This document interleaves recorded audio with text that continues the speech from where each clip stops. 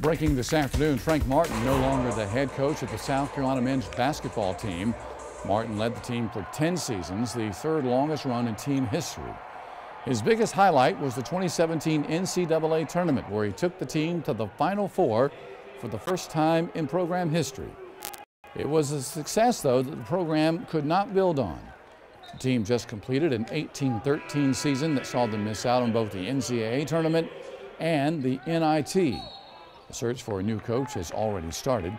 Sports Director Reggie Anderson will have more details coming up later in sports.